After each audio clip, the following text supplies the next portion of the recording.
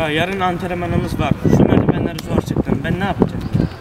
Ee, o kadar sigara iç iç iç sonra zor çıktım. Kokusu buraya kadar geldi ya. Çok Ya leş gibi kokuyor. çok kötü kokuyor ya. Hadi gidelim ya. Kalk hadi.